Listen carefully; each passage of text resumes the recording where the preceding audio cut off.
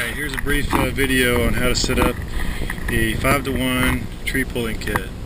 So you can see I'm trying to pull a truck and over on the other end I'm anchored to this tree.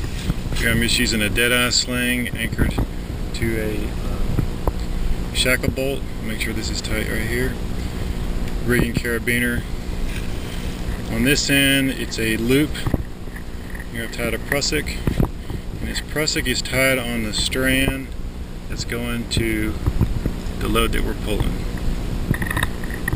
Okay, on this other end, we've got a VT, this is this tail, and this allows us to reset this by sliding it forward.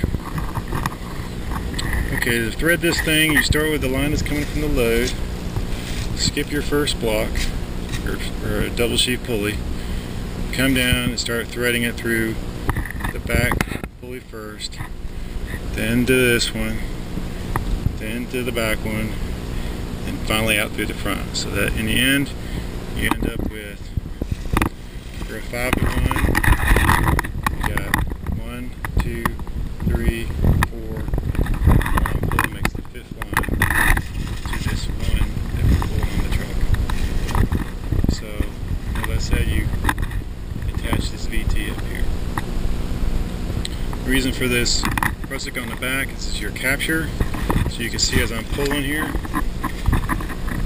this pulley mines that, and when I let go, it holds all, so I don't lose any anything that I pull. If these blocks were to come together, it's time to do a reset. Simply pull this hitch, and you can go as far as you've got rope to go And you pull your tail again.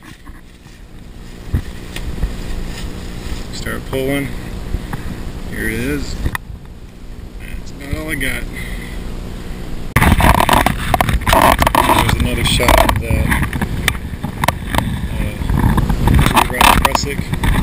That's being taken by this cheek to this pulley. I pull on the load.